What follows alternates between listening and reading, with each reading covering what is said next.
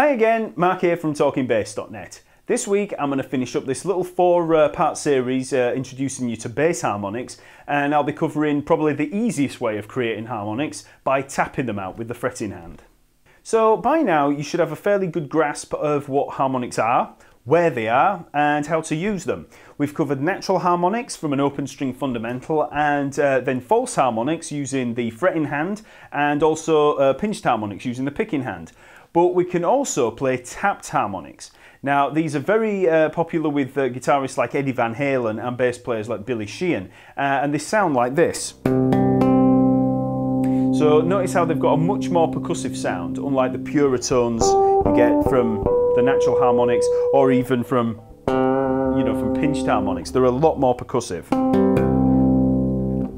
So to get a tapped harmonic, we just bounce the finger off the string.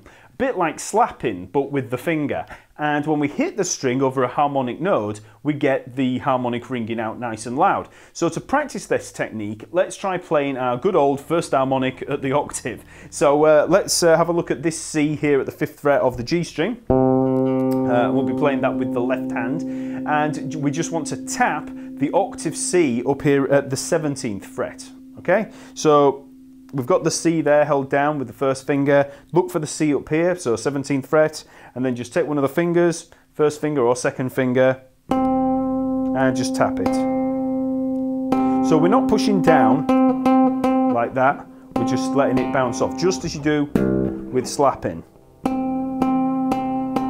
So we hit and bounce off. So it's an exaggerated bring the finger down and just bring it straight back up off the neck. You don't have to do it that much, you can just move the finger slightly, but, but that's the action there. So there you get in the, the uh, harmonic, the first harmonic, uh, an octave higher than the fretted note there. So this gives a completely different uh, tone colour um, that we can add to our bass toolbox. So as I said before, it's a very percussive sounding um, harmonic. And if I compare the three types of harmonics, just here at the 12th fret of the G string, there's the natural harmonic. Then if I play the pinched harmonic, you can hear it, again, it's got that pure sound, but it's slightly more percussive. Then the tapped harmonic, okay, you can hear that real percussive chime to the note. Tapped harmonics are also similar to pinched harmonics in that we can add vibrato to them, slide them and bend them. So if I take that C there, we can bend it, slide it, or add vibrato. So with this uh, simple uh, first octave, you know, the, the octave harmonic there, we can try a few simple things just as we did with the uh, pinched harmonics. So we could try playing a basic C major scale. So if we were going to play a C major scale down here, starting at the third fret of the A string, we can then tap out the harmonics from that uh, from that scale an octave higher up here. So if you imagine a, a C major scale up here, so that's where we'll be tapping the notes. And remember, these are all going to be over the uh, over over the fret, not between the frets. So I've got the C major down there. There's the C.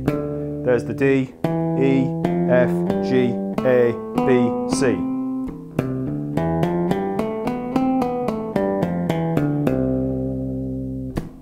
As well as a basic major scale like that, you can try uh, pretty much playing anything, uh, any kind of lines, riffs that you want to play, and they'll all have that kind of uh, odd percussive sound to them when you when you play them in this way. So if we take a, uh, a C blues scale,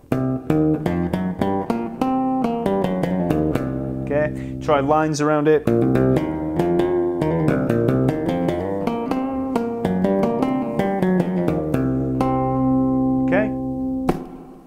Can also outline chords, and this is a really uh, popular use for tapped harmonics, and Van Halen did this a lot. Um, so if we take a D power chord down here, so D, A, D, so 5th fret A string, 7th fret D string, 7th fret G string, we just hold that shape there, and I'm using the first finger for the D and then just the fourth finger bar in there across the 7th fret, we can tap them out one octave higher. So if you look for those notes, but up here, So we get a nice, a nice chime there of that, uh, of that chord. And then if we move it down, I can move it down to a B flat, C, and then just outline them.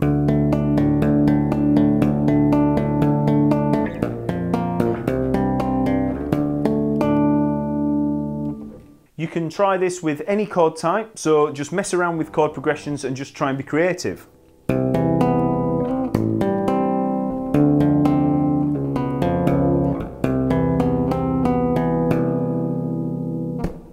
As with any other harmonics, we don't have to just stick to those octaves there. We can uh, actually get harmonic nodes all up and down the string. So um, if we take, let's say, a B flat there, we don't have to stick to that octave there. We can move further down the string, and as you bang away down there, you know, tapping these harmonics, you'll start to hear them. Uh, hear them.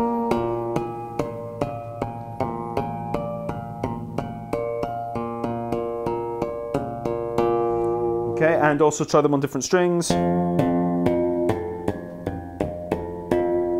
Okay, so they're all there up and down the string. You can get them further back here as well. And as always, a lot of distortion and compression and boosting the mids will help uh, to get those to ring out.